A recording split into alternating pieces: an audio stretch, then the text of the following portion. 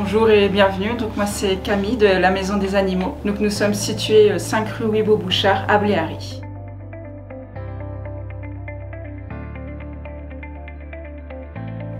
Donc euh, c'est une animalerie spécialisée dans le naturel et l'enrichissement.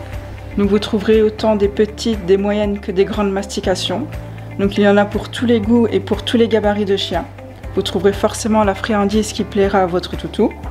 En enrichissement, vous trouverez des jeux à fourrer, des jeux lockers pour y coincer les petites friandises, des tapis de léchage, des jeux de fouilles, tout en sachant que ce genre d'occupation, 15 minutes, fatigue beaucoup plus qu'une heure de balade.